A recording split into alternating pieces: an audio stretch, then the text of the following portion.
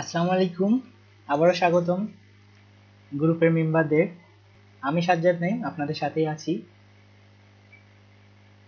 তো এই টিউটোরিয়ালে আমি চেষ্টা করব দেখাতে যে একটি ইমেজ কীভাবে ওপেন করে সেটির ব্যাকগ্রাউন্ড রিমুভ করে ফেলতে হয়, অথবা আমি ব্যাকগ্রাউন্ডের কালারটি চেঞ্জ করে ফেলব কীভাবে। তো শুরু করার আগেই আমাকে কয়েকজন প্রশ্ন করেছিল গ্রুপে যে তাদের ফটোশপে এই রাইটে যে লেয়ার অপশনটি রয়েছে, অনেকে এইটা শো করাচ্ছে না। তো এরকম হলে আপনারা কি করবেন? আমার ফটোশপের রাইট পাশে যে লেয়ার অপশনটি দেখাচ্ছে, দেখুন আমি এটি মাউসের কার্সর দিয়ে সহজভাবেই মুভ করাতে পারছি। যাদের ফটোশপে এটি শো করাচ্ছে না তারা খুব সহজভাবেই এটিকে এখানে নিয়ে আসতে পারেন। তো আমরা দেখি সেটিকে কীভাবে নিয়ে আসতে হয়। এটিকে নিয়ে আসতে গেলে আমাকে যেতে হবে ফটোশপের আমাদের মেনু বারে যে উইন্ডোজ অপশনটি রয়েছে, এটিতে ক্লিক করে আমি দেখব আমার লেয়ারটি সিলেক্ট করা আছে কিনা। দেখুন, আমার লেয়ারটি সিলেক্ট করা আছে, এজন্য সে অলরেডি মার্ক দেখাচ্ছে এবং এটি আমার এখানে শো করাচ্ছে। যদি এটি আনসিলেক্ট করা থাকতো, তাহলে দেখুন আমার এটি শো করাচ্ছে না। সো যাদের ফটোশপে লেয়ার অপশনটি আসছে না, তারা এখান থেকে খুব সহজভাবেই লেয়ার অপশনটি সিলেক্ট করে এটিকে নিয়ে আসতে পারেন। আপনি লেয়ারের মেনু যে অপশনটি রয়েছে, এটিকে আপনার ইচ্ছা মতো কাজের সুবিধার ক্ষেত্রে লেফট অথবা রাইট যে কোনোখানে রাখতে পারেন। এভাবে আপনি আপনার প্রয়োজনে কাজের ক্ষেত্রে যখন যে অপশনটি লাগে, আপনি এই উইন্ডোজ থেকে সেটিকে অ্যাক্টিভ করে ফেলতে পারেন। দেখুন, আমি যদি কালার অপশনটি নিয়ে আসতে চাই, তাহলে কালারে ক্লিক করলেই আমার কালার অপশনটি চলে আসবে। অথবা আমি যদি এটিকে ক্লোজ করতে চাই, তাহলে এই ক্লোজ বাটনে ক্লিক করলেই সেটি ক্লোজ হয়ে যাবে। অথবা আপনি যদি এখানে ক্লিক করেন, করে ক্লোজ অপশনে যান, তাহলে সেটি ক্লোজ হয়ে যাবে। তো এটিকে আমরা আবার নিয়ে আসি।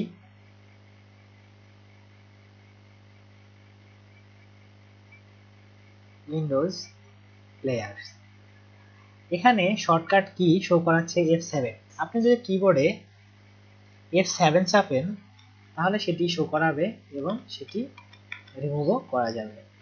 তো এভাবে আমরা ইজিলি আমাদের layer option path option colour option সব অপশনগুলো শো করাতে পারি অথবা হাইড করাতে পারি। তো বন্ধুরা, এখন আমরা আসি।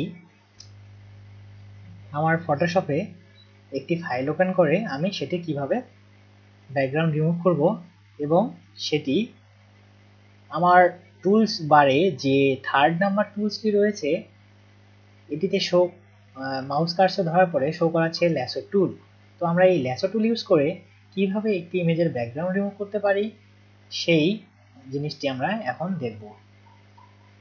তো ফার্স্ট আমি আমার একটি ফাইল ওপেন করব ইমেজ আমি আমার ইমেজটি সিলেক্ট করে ওপেন করে ফেললাম। আপনার ইমেজটি ওপেন হয়ে গিয়েছে। আপনি এই ইমেজটি ছোট অথবা বড় করতে চাইলে কিবোর্ডে কন্ট্রোল প্লাস চিহ্ন যদি চাপেন, তাহলে দেখুন সেটি বড় হয়ে যাচ্ছে এবং মাইনার যদি চাপেন, সেটি ছোট হয়ে যাচ্ছে। আপনি ইমেজটিকে যদি মুভ করাতে চান ইমেজটিকে যদি সরাতে চান, এটি তো এখন মিডল পয়েন্টে আছে, এটিকে যদি আপনি ডানে অথবা বামে সরাতে চান, তাহলে আপনাকে কিবোর্ডের স্পেস বাটন চেপে ধরলে দেখুন মাউসের কার্সরটি একটি হ্যান্ড শো করাচ্ছে, হাত। তো এটির অর্থ হচ্ছে আপনি এটিকে ধরে ইমেজটিকে চারপাশে বা আপনার সুবিধা মতো স্থানে মুভ করাতে পারেন। জুমিং করার জন্য আরও একটি অপশন রয়েছে, সেটি হচ্ছে কন্ট্রোল অল্টার স্পেস যদি চাপেন, দেখুন, তাহলে সেটি মাইনাস শো করাচ্ছে। কন্ট্রোল অল্টার স্পেস চাপার পরে মাইনাস শো করালো এবং এটিতে আপনি যদি মাউসে লেফট বাটন ক্লিক করেন, তাহলে ইমেজটি আপনার ছোট হয়ে যাবে। এখন ইমেজটি যদি আপনি বড় করতে চান, তাহলে শিফট অল্টার স্পেস যদি চাপেন কন্ট্রোল শিফট স্পেস যদি চাপেন, তাহলে সেটি প্লাস চিহ্ন শো করাচ্ছে এবং আপনি যদি মাউসের রাইট বাটনে ক্লিক করেন, তাহলে সেটি বড় হবে। সো আমাদের ইমেজ বড় করতে হলে কিবোর্ডে শর্টকাট কি হচ্ছে? কন্ট্রোল শিফট স্পেস আবার বলছি কন্ট্রোল শিফট স্পেস ইমেজ বড় করার ক্ষেত্রে আমাদের শর্টকাট কি? আর ইমেজ ছোট করার ক্ষেত্রে কন্ট্রোল অল্টার স্পেস অ্যান্ড মাউসের লেফট ক্লিক দেখুন ইমেজটি ছোট হয়ে গেল। আপনি যদি চেপে ধরে থাকেন, তাহলে ইমেজটি ছোট হতেই থাকবে। আর যদি কন্ট্রোল শিফট স্পেস চেপে আপনি যদি জুমিং এ রাইট লেফট বাটন মাউসে ক্লিক করে থাকেন, সেটি জুম হতে থাকবে। তো এভাবে আপনি আপনার সুবিধা মতো জায়গাটি নিয়ে এসে সেটি উপরে কাজ করতে পারেন। এখন আমরা আসি ল্যাসো টুল দেখুন, আমার ল্যাসো টুলে ক্লিক করার পর ল্যাসো টুল একটি পয়েন্টার শো করাচ্ছে। আমার ল্যাসো টুলটি সিলেক্ট হয়ে গিয়েছে। তো আমরা এখন ল্যাসো টুলের মাধ্যমে কাজ শুরু করব। বন্ধুরা, কাজ শুরু করার আগে আরেকটি জিনিস লক্ষ্য রাখতে হবে, সেটা হচ্ছে যে আমার ব্যাকগ্রাউন্ড লেয়ারটি দেখুন লক করা আছে। তো আমি এটার উপরে কাজ করতে গেলে সে কাজ করতে দিবে না। তো আমরা সবসময় আমার ব্যাকগ্রাউন্ড লেয়ারটি আনলক করে ফেলব। লেয়ারের উপরে ডাবল ক্লিক করে ওকে চাপলেই আমার লেয়ারটি দেখুন আনলক হয়ে গেল। তো আমি যদি এই লেয়ারটির উপরেই কাজ করতে চাই, করতে পারি, অথবা আমি যদি এই লেয়ারটিকে কপি করে সেটার উপরে করতে চাই, তাহলেও আমি করতে পারি। অথবা আপনাদের আরেকটি অপশন দেখাই। সেটি হচ্ছে, আমি যদি আমার ব্যাকগ্রাউন্ডটি ঠিক রাখব এবং ব্যাকগ্রাউন্ড কপি করে নিয়ে সেটির উপরে কাজ করব তাহলে আমি তাও করতে পারি। বন্ধুরা, বলতে ভুলে গিয়েছিলাম, আমরা কোনো কাজ করার পর সেটি যদি আমরা আন্ডু করতে চাই, তাহলে আমাদের কন্ট্রোল অল্টার জেট চাপলেই সেটি আন্ডু হয়ে যাবে। দেখুন, আমি যা যা করেছিলাম, সব ব্যাক হয়ে গিয়েছিল। সো আমাদের আন্ডু করতে গেলে কন্ট্রোল অল্টার জেট চাপতে হবে। এখন কন্ট্রোল অল্টার জেপ হচ্ছে হিস্টোরি রিপিট করা। তো ফার্স্ট হিস্টোরির অপশনটি আমাদের চেক করে নিতে হবে। ফটোশপে মেনু বারে গিয়ে ইডিতে গিয়ে আমাদের প্রিফারেন্সে যেতে হবে এবং প্রিফারেন্স থেকে জেনারেলে যেতে হবে। তো জেনারেলে গিয়ে আমরা যখন ক্লিক করব, অথবা আপনি কিবোর্ডে শর্টকাট কি কন্ট্রোল প্লাস কে চাপলেই সহজভাবেই আপনি আপনার প্রিফারেন্স বক্সটি পেয়ে যাবেন। এবং এখানে এসে পারফরমেন্স নামে একটি অপশন রয়েছে, আমাকে সেটিকে সিলেক্ট করতে হবে। সিলেক্ট করার পর দেখুন, আমার রাইট পাশে হিস্টোরি স্ট্যাটাস ওয়ান এটিকে আমি যাদের বিশ বা তিরিশ আছে, এটি আপনারা অনেক দিয়ে রাখবেন। পাঁচশো, চারশো অথবা তার উপরে আমি লাস্ট পর্যন্ত দিয়ে রাখলাম। দেন ওকে চাপি তো এভাবে আমি এক হাজার পার পর্যন্ত যদি আমি দিয়ে রাখি প্রিফারেন্স আমার হিস্টোরি স্ট্যাটাস এক হাজার দিয়ে রাখলে আমি এক হাজার বার আন্ডু করে ফেলতে পারব কোনো কাজ। তো এটা অনেক মজার এবং অনেক কাজের। তো আমরা সবাই এটিকে চেক করে রাখি এবং এটি করে ফেলি। তো বন্ধুরা, আমি চাচ্ছি আমার ব্যাকগ্রাউন্ড ঠিক থাকবে এবং ব্যাকগ্রাউন্ডটি কপি করে নিয়ে আমি এই লেয়ারের উপরে কাজ করব। তো ফার্স্ট আমার লেসো টুল সিলেক্ট করে নিলাম। নিয়ে আমি চাচ্ছি এই ইমেজটা থেকে শুধুমাত্র আমি এই মেয়েটির মাথা অংশটুক নেব।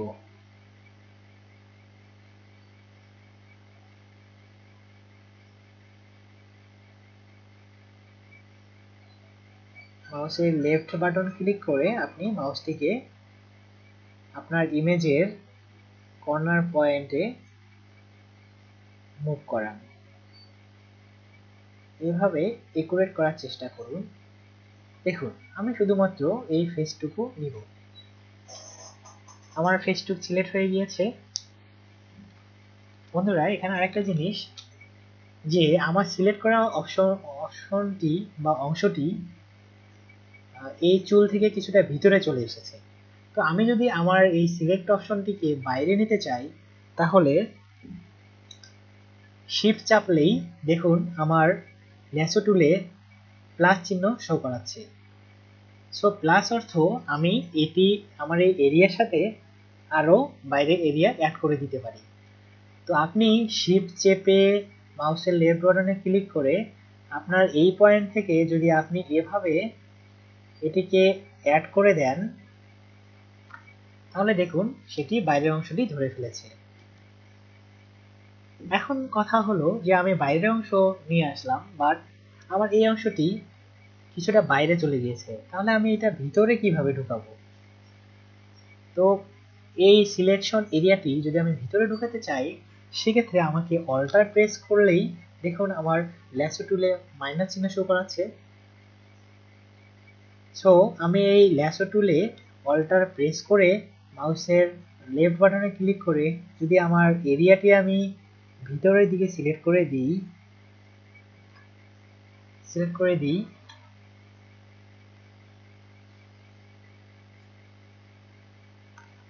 সিলেক্ট করে দিই তাহলে দেখুন ভিতরের অংশটি সিলেক্ট হয়ে গেল। তো এভাবে আমরা একটা ইমেজের এরিয়া কম বেশি করে নিতে পারি। তো আপনারা প্র্যাকটিস করুন। এরপর আমরা কীভাবে এই অংশটুকু শুধু রেখে আমার বাকি অংশ যে আছে ইমেজের, সেই অংশটি অথবা ব্যাকগ্রাউন্ড আমি ডিলেট করে ফেলব। তো সেটি করতে গেলে আমাকে ফার্স্ট ইনভার্স করতে হবে। ইনভার্স আমরা দুভাবে করতে পারি। একটি মেনু বারে সিলেক্ট অপশনে গিয়ে ইনভার্স অপশনে যদি আমি ক্লিক করি, তাহলে দেখুন, আমার পুরা ইমেজটি এই অংশটি সহ বাকি যে অংশটি রয়েছে, এটি সিলেক্ট করে ফেলেছে। অথবা আপনি যদি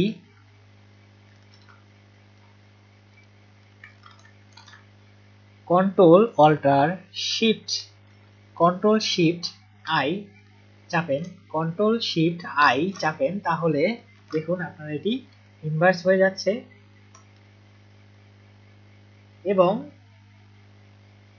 কন্ট্রোল ডি অথবা যদি শুধুমাত্র ডিলেট বাটন চাপেন, তাহলে এটির ব্যাকগ্রাউন্ড রিমুভ হয়ে গিয়েছে। আমার ব্যাকগ্রাউন্ড অলরেডি রিমুভ হয়ে গিয়েছে, কিন্তু আমার লেয়ারে ব্যাকগ্রাউন্ডের চোখ অন করা আছে এই জন্য সেটি শো করাচ্ছে না। তো আমি কাজ করার ক্ষেত্রে আমার ব্যাকগ্রাউন্ডের লেয়ারটির চোখ অফ করে দিই। তাহলে দেখুন আমার যে ব্যাকগ্রাউন্ড কপি লেয়ারে আমি শুধু মাথার অংশটি নিয়েছি, সেটি শো করাচ্ছে।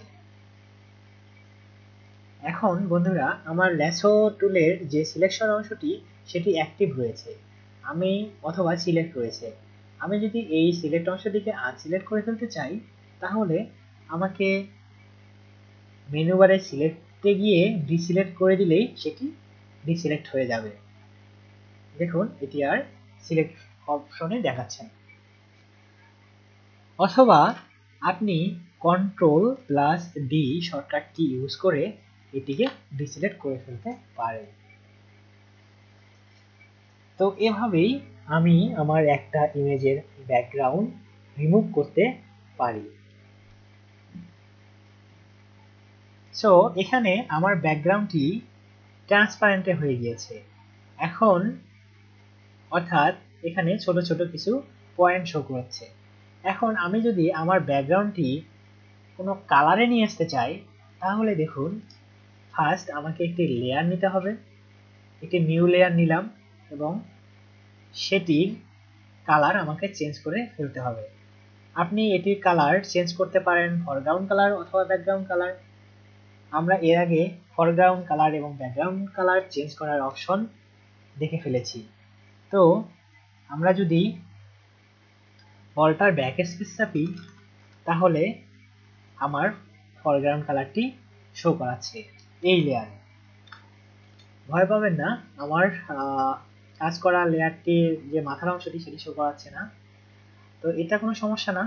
আমি যদি আমার এই কালার লেয়ারটিকে আমার ব্যাকগ্রাউন্ড কপি লেয়ারের নিচে বসাই দিই, অথবা আমার ব্যাকগ্রাউন্ড কপি লেয়ারটিকে যদি এই কালার লেয়ারের উপরে বসিয়ে দিই উপরে নিয়ে আসি, তাহলে দেখুন আমার পূর্বের জিনিসটি এই কালারের উপরে শো করাচ্ছে। তো এভাবে আমি আমার ব্যাকগ্রাউন্ডের কালার চেঞ্জ করে ফেলতে পারি।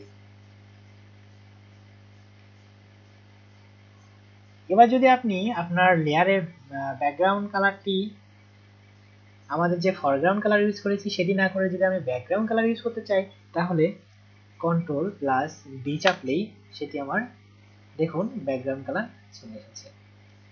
তো খুব সহজভাবে আমরা আমাদের এই ইমেজটি ব্যাকগ্রাউন্ড রিমুভ করে ফেলতে পারি। তো এভাবে আপনারা চেষ্টা করেন ইনশাল্লাহ হয়ে যাবে। তো কাজ শেষ করার পর ফাইল সেভ করার অপশনটি অনেকে ফাইল এ এতদূর কাজ করার পরে সেভ দিতে পারেননি। আসলে তারা সবাই একটু নার্ভাস হয়ে গেছে যে কাজ করার পর ফাইল সেভ হচ্ছে না বা ফাইলটা শো করাচ্ছে না। ফটোশপে ফাইল সেভ করা নিয়ে এখন আমি কিছু কথা বলব। এই কাজটি করার পর আমি যদি ফাইলটিকে সেভ করতে চাই, তাহলে আমাকে ফাইল মেনু বারে গিয়ে সেভ অপশনে যেতে হবে। এবং সেভ অপশনে ক্লিক করার পর দেখুন একটি ডায়াগ্রাম বক্স চলে এসেছে যেটিতে আপনার ইমেজের নামটি শো করাচ্ছে। আপনি এখানে আপনার কাজ করা ইমেজটির নাম চেঞ্জ করতে পারেন।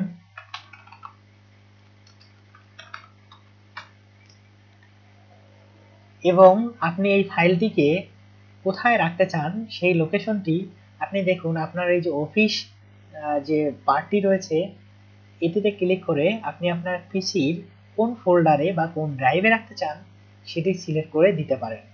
যেহেতু আপনারা এখন প্রায় প্রায় কাজ করবেন এবং সেটিকে সেভ করে রাখতে হবে, তাই আপনারা এখানে একটি, এই যে ক্রিয়েট নিউ লেয়ার ফোল্ডার রয়েছে, এই আইকনে ক্লিক করে একটি নতুন ফোল্ডার ক্রিয়েট করে এটির ভিতরে সবসময় ফাইল সেভ করে রাখতে পারে আমি এই ফোল্ডারটিকে সিলেক্ট করে দেন সেভ দিলাম। সেভ বাটনে ক্লিক করলে আমার ফাইলটি সেভ হয়ে যাবে। এখন কথা হচ্ছে আমি ফাইলটি সেভ দিলাম। এই ফাইলটি দেখুন, ওকে চাচ্ছে, ওকে দিলাম। আমার ফাইলটি সেভ হয়ে গিয়েছে। ফাইলটি আমার কোথায় সেভ হলো, এটি আমি এখন দেখব।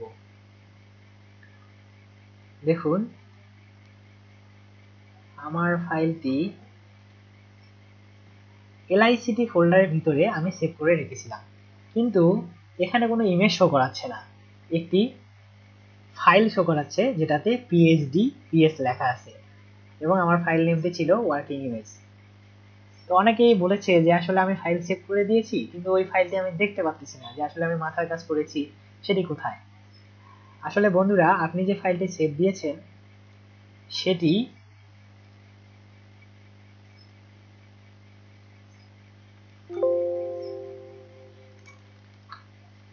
সেটি পিএইচডি ফরম্যাটে সেভ করা হয়েছিল। পিএইচডি ফরম্যাটটা হচ্ছে ফটোশপের র ফাইল মানে হচ্ছে আপনি একটা ইমেজের যে অনেকগুলো লেয়ারে কাজ করেছেন, পরবর্তীতে আপনি যদি এই ফাইলটি ওপেন করেন, তাহলে আপনি পূর্বে যে যে কাজগুলো করেছেন, সবগুলো কাজই এই ফাইলটির ভিতরে আপনাকে পুনরায় শো করাবে। তো এটা হচ্ছে একটা মজার জিনিস যে হচ্ছে আপনি পূর্বে যে পনেরোটা বা বিশটা লেয়ার নিয়ে কাজ করেছেন, এতগুলো লেয়ার তো সিঙ্গেলভাবে একটার পর একটা সেভ করা অনেক কষ্টসাধ্য বিষয়। তো সেক্ষেত্রে আপনি একটা ফাইলেই আপনার সবগুলো লেয়ার এখানে যদি পিএইচডিতে সেভ দেন, তাহলে সে অটোমেটিক সবগুলো লেয়ার সহ একবারে সেভ হয়ে যাবে। অথবা আপনি যদি ইমেজটিকে আপনার ইমেজ হিসেবে দেখতে চান, যে হচ্ছে আমি ইমেজ হিসেবে দেখব, তাহলে দেখুন ফাইল ফরম্যাট যে নামে অপশনটি রয়েছে এই ফরম্যাট অপশনে গিয়ে আপনি যদি স্ক্রল বারে চাপেন, তাহলে দেখুন অনেকগুলো অপশন আছে। Large document BPM কম্পিউ service zip Photoshop etcetera তো এখানে আমাদের তিনটা জিনিস মনে রাখতে হয়। জেপিইজি যেটা আমরা ইমেজের ক্ষেত্রে ইউজ করি। টিফ ইমেজ এটাও আমরা ফাইল বড় ক্ষেত্রে ইউজ করে থাকি। এবং পিএনজি এগুলো আমাদের ইমেজ ফরম্যাট তো জেনারেলি আমরা আমাদের স্টুডিও আমাদের যে ইমেজগুলো কাজে লাগে, আমরা মোবাইলে যে ইমেজ ইউজ করি, সবগুলোই জেপিজি ভার্সনে থাকে। জেপিইজি তো আপনারা এই অপশনটি যদি সিলেক্ট করে সেভ দেন, দেখুন, এখন আমাকে ওই ইমেজটি ইমেজ হিসাবে শো করাচ্ছে। তো আপনি এখন এটিকে ইমেজ হিসাবে দেখতে পারছেন। তো আশা করা যাচ্ছে ফাইল সেভ করা নিয়ে আর কোনো সমস্যা না থাকারই কথা। তো এভাবে, বন্ধুরা, আপনারা একটি কাজ করার পর সেটি খুব সহজভাবেই সেভ দিতে পারেন। তো ভিডিওটি দেখার জন্য ধন্যবাদ। আর ইনশাল্লাহ আমি পরবর্তী ক্লাসে ছাড় যা শেখাবেন সব কিছু আবার আপনাদের ভিডিও টিউটোরিয়ালের মাধ্যমে দেওয়ার চেষ্টা করব। এতে আমারও হেল্প হচ্ছে, আপনাদেরও হেল্প হচ্ছে এবং আমি আশা করি আমার গ্রুপের সবাই যাতে Photoshop expert and graphic designer expert হয়ে গড়ে উঠতে পারি, এটা আমি সবার কাছে আশা করব। তো ইনশাল্লাহ নেক্সট টিউটোরিয়ালে আবার দেখা হচ্ছে। আল্লাহ হাফিজ।